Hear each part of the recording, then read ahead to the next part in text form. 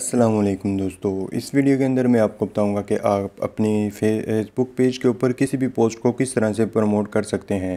पिछली दो वीडियोस के अंदर मैंने बताया था कि आप मैसेंजर के बटन को किस तरह से प्रमोट कर सकते हैं और व्हाट्सएप के बटन को किस तरह से प्रमोट कर सकते हैं। अगर आप वो वीडियो देखना चाहें तो आपको उनका लिंक डिस्क्रिप्शन में मिल जाएगा। तो चलिए आज की वीडियो को हम स्टार्ट करते हैं। सबसे पहले तो मैं आपको पोस्ट दिखा देता हूँ कि आप किस किस को प्रमोट कर सकते हैं। तो यहाँ पर ये एक ये टेक्स्ट पोस्ट है, आप यहाँ पर देखेंगे कि इसके साथ बूस्ट का ऑप्शन मौजूद है। इसी तरह से यहाँ पर नीचे देख सकते हैं बूस्ट का ऑप्शन है व्यू टेक्स्ट है। तो यहाँ पे ये मल्टीपल इमेजेस वाली एक पोस्ट है, इसको हम बूस्ट कर सकते हैं और यहाँ पर एक ये वीडियो है, इसको बूस्ट कर दे सकते हैं। जिसका मतलब है कि किसी भी टाइप की इमेज वीडियो टेक्स्ट जो भी हो, हम उसे बूस्ट कर सकते हैं। तो मैं ये एक टेक्स्ट पोस्ट को बूस्ट करके आपको दिखा देता हूँ। तो इसके लिए हमें सिंपली बूस्ट पर क्लिक करने हैं, आप इस पेज पर आ जाएँगे। तो सबसे ऊपर तो आपको ऐड का प्रीव्यू मिलेगा। तो यहाँ पर आपको एक लाइक का बटन शो होगा और यहाँ पर ये टेक्स्ट शो होगा। अगर आप मैसेंजर का बटन या व्हाट्सएप का बटन यहाँ पर ऐड करना चाहें तो उस पर मैं ऑलरेडी वीडियो बना चुका हूँ। जैसा कि मैंने पहले भी बताया आपको तो इसके बाद आ जाती है पोस्ट इनसाइट्स तो पहले ही इस इमेज के ऊपर जितने पेज रीच हुए हैं, ये जो चीज़ दिखाई गई है, इसके बाद आ जाती है स्पेशल कैटेगरी तो स्पेशल कैटेगरी के अंदर सोशल राइट्स इलेक्शन वगैरह इस तरह की चीज़ें होती हैं, आप इसे ऑफ़ ही रहने दीजिएगा। इसके बाद आ जाती है ऑडियंस तो ऑडियंस काफ़ी इंपॉर्टेंट चीज़ होती है, इसे आप ध्यान से देख लीजिएगा। तो पहले मैंने एक पोस्ट बूस्ट की थी तो उसकी ऑडियंस यहाँ पर पहले ही ऑलरेडी मौजूद है, लेकिन मैं आपको एक नई क्रिएट करके दिखा देता हूँ। तो यहाँ पर आपके सामने कुछ इस तरह का प्रव्यू आ जाएगा। इसके अंदर audience name region address location interest age और जेंडर सब कुछ आ जाता है। तो सबसे पहले हम नाम दे देते हैं। नाम जो भी दे दें, आप इससे फ़र्क नहीं पड़ता। और इसके बाद आ जाती है एड्रेस या रीजन तो एड्रेस के अंदर पहले मैं आपको थोड़ा बता देता हूँ। एड्रेस अगर आप अपनी लोकेशन के इर्द गिर्द पोस्ट को बूस्ट करना चाहते हैं, आपका कुछ इस तरह का बिज़नेस है जिस पे आप होम डिलीवरी करना चाहते हैं और अपने घर के करीब करना चाहते हैं तो इसके लिए आपने ये रेडियस चूज़ कर लेना है। कि आप कितने एरिया के अंदर इसे रखना चाहते हैं। लेकिन मैं फ़िलहाल इसे रीजन ही रहने देता हूँ। रीजन के अंदर लोकेशन पाकिस्तान ऑलरेडी ऐड है। आप कोई और कंट्री ऐड करना चाहें तो वो भी कर सकते हैं। इसे रिमूव करना चाहें वो भी कर सकते हैं। इसके बाद आ जाती है बात इंटरेस्ट की।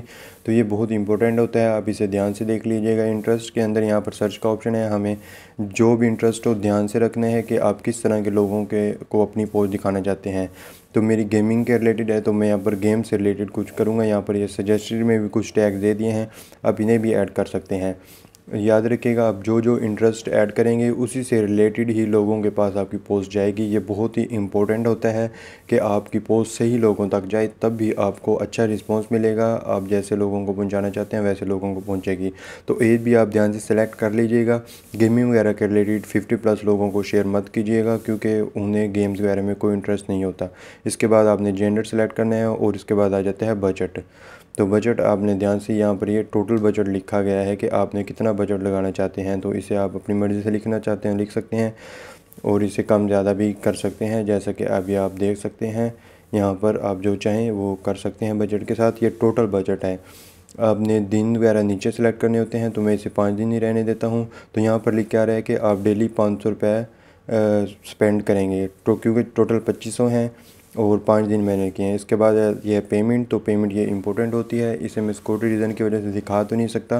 लेकिन अगर आपको कोई प्रॉब्लम आए तो कमेंट में बोल दीजिएगा, मैं आपको बता दूँगा।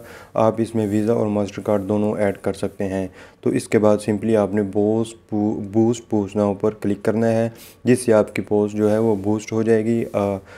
फौरी तौर पर नहीं होती, बल्कि ये रिव्यू में चली जाती है आपकी पोस्ट रिव्यू में तकरीबन दो से तीन, दो घंटों से लेकर तीन चार दिन तक लग सकते सकते हैं अक्सर यही होता है कि दो तीन घंटे के अंदर अप्रूव हो जाती है।